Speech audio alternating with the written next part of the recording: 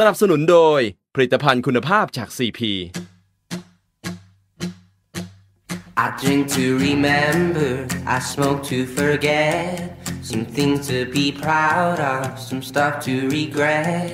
Gone down some อยู่ในที่ชนบทแบบนี้นะครับ แต่ก่อนเนี่ยที่หมู่บ้านไทยดำนี้เนี่ยไม่มีไฟฟ้าใช้เลยใช่ไหมครับค่ะ ไม่ไม่มีค่ะ น้ำก็ไม่มี เพราะมันเป็นหมู่บ้านที่มาปลูกตั้งใหม่ ก็ถือว่าต้องมีน้ำใช้มีไฟฟ้าใช้ที่สำคัญนะครับ อยากจะทานอะไรก็ต้องปลูกเองค่ะปลูกเลี้ยงเองนะครับ เลี้ยงเองรวมไปถึงเสื้อผ้าค่ะก็ต้องถักทอเองด้วย ใช่ค่ะถักทอเองถึงได้เกิดกลุ่มทอผ้าเราขึ้น เพราะว่าเราต้องทอผ้าใช้เอง ครับการแต่งกายก็จะเป็นเอกลักษณ์แบบนี้ก็เป็นที่มาของการถูกเรียกว่าชาวไทยดำด้วยนะครับเดี๋ยววันนี้นะครับเดี๋ยวเราจะไปดูการทอผ้าแบบดั้งเดิมของที่นี่ด้วยนะครับถือว่าเป็นการ สืบสารต่อนะฮะวัฒนธรรมแล้วก็ถือว่าเป็นฝีมือการทอผ้าของที่นี่จะได้รู้จักกันครับ ตั้งแต่สมัยก่อนเนี่ยนะครับชาวไทยดำเนี่ยเขาก็อยู่ด้วยตัวเองปลูกค่ะผักปลูกผลไม้เอง รวมไปถึง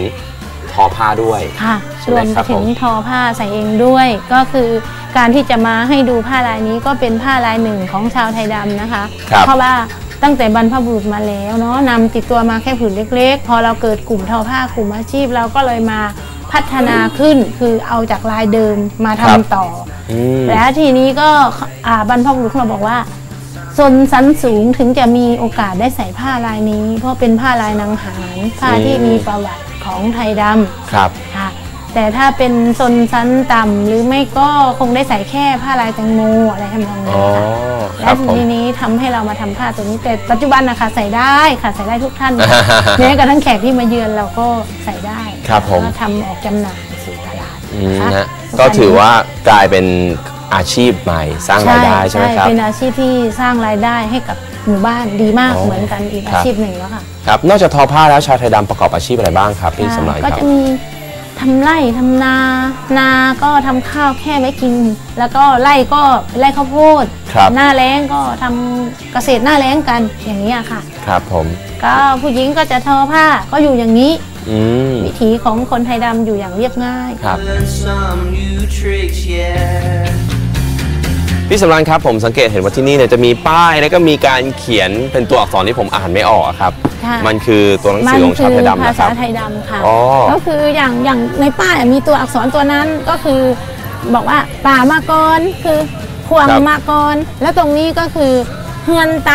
ครับจ้ะมันอ๋อมันจะเป็นภาษาไทยดำซึ่งไม่เหมือนที่อื่นเนาะเรามีภาษาของเรามีการพูดก็เป็นภาษาของเราเอง แล้วก็อ๋อเป็นเพียงหมู่บ้านเดียวในภาคตะวันออกเฉียงเหนือครับที่แตกต่างกว่าเพื่อนค่ะในค่ะโซนของตะวันออกเฉียงเหนือทางนี้ใช่ไหมครับค่ะก็คือเขาเรียกว่าแถวนี้เนี่ยเรียกว่าบ้านนาป่านาดค่ะใช่ไหมครับใช่ใช่อ๋อเป็นบ้านนาปานาดแต่ก่อนต้นหนาดขึ้นเยอะครับก็เลยเรียกว่านาปานาดแต่ตอนนี้มันก็เหลือเพียงว่าเราปลูกไว้ให้ดู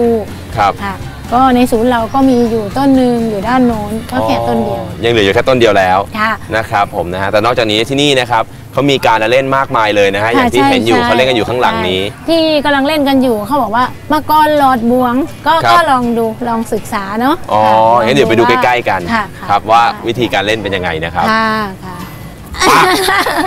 น็อกมาได้เอาไหมเอาไหมอ๋ออะคลรัอบงลองปลาดูได้ อันนี้คือเป็นการละเล่นมังกรลอด ลอดห่วง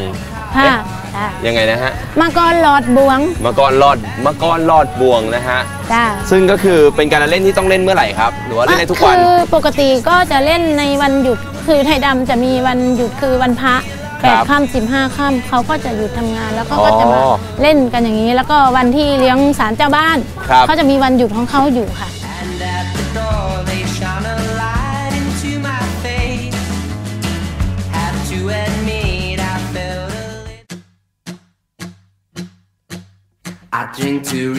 การเล่นมะกรลอดบ่วง ชายหญิงจะยืนอยู่คนละฝั่งครับ หญิงจะเป็นฝ่ายโยนมะกรขึ้น เพื่อให้ลอดบ่วงก่อน ขณะที่ฝ่ายชายจะคอยรับลูกมะกรจากฝ่ายสาวให้ได้ โยนส่งไปมารับกันไปรับกันมาอย่างนี้ ก็เกิดเป็นความชอบพอกันขึ้น ก็จะมีการสารสัมพันธ์กันต่อไป โดยแต่ละฝั่งจะเล่นกันกี่คนก็ได้ครับ Ever have met?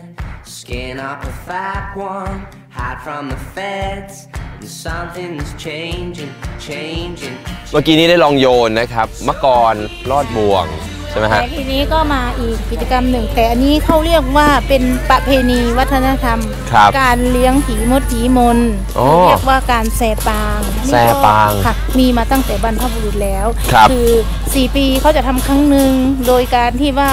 เชิญผีมดผีมนลงมาครับแล้วก็ทีนี้เราก็กลัวมันสูญหายก็เลยจำลองเอาไว้ เพื่อแสดงต้อนรับแขกที่มาเยือนเราครับเาผม สวัสดีครับ สวัสดีครับ สวัสดีครับผม และนี่นะครับก็คือความภาคภูมิใจของหมู่บ้านวัฒนธรรมไทยดำครับที่ยังคงสามารถรักษาวัฒนธรรม ประเพณีมาได้รุ่นสู่รุ่นจนถึงทุกวันนี้นะครับที่สำคัญครับที่นี่นะฮะยังมีเกร็ดความรู้นะครับเกี่ยวกับพวกเครื่องรางของขลังด้วยนะครับตามแบบวิถีชีวิตของชาวไทยดำครับซึ่งอันนี้เนี่ยเขาเชื่อเป็นดอกไม้ใช่ไหมครับพี่ค่ะสำราญค่ะ อันนี้ก็เป็นอีกกิจกรรมหนึ่งที่ในหมู่บ้านเราทำอยู่นะคะครับคือเราจะอนุรักษ์เอาไว้สิ่งดีงามตั้งแต่โบราณเพื่อ ให้ส่วนรุ่นหลังได้ศึกษาแล้วก็ต้อนรับแขกด้วยครับสำหรับใครที่มุ่งสู่หมู่บ้าน ก็จะเห็นการทำตุ้มนกตุ้มหนูการประดิษฐ์ประดอย เป็นการเสริมสร้างรายได้ให้กับชุมชนอีกทางหนึ่งด้วยค่ะ ดอกไม้ไทยดำจะมีการสร้างเป็นลักษณะเป็นรูปบ้านต่างๆ แบบย่อส่วน สีสันจัดจ้านทำด้วยไม้ไผ่ พันขึงด้วยด้ายสีสี ให้คนต่างถิ่นผู้มาเยือนอย่างพวกเรานะครับ ได้ตื่นเต้นไปกับความสะดุดตาของสิ่งมงคลเหล่านี้ครับ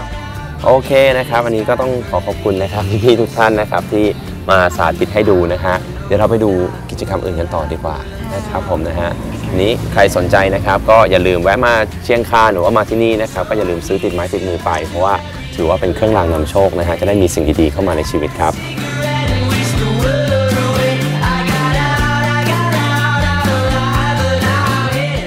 พาชมหมู่บ้านไทยดำมาทั้งวันแล้วนะครับได้เห็นทั้งประเพณีนะฮะการละเล่นวัฒนธรรมต่างๆนะครับรวมไปถึงเครื่องรางของขลังของเขาด้วยนะฮะซึ่งน่ารักมากๆครับตอนนี้เริ่มหิวแล้วครับเดี๋ยวช่วงหน้านะครับเดี๋ยวเรามาดูกันดีกว่าว่าอาหารการกินที่นี่เขาเป็นยังไง จะใช้วัตถุดิบยังไงนะครับแล้วก็อร่อยแค่ไหนครับ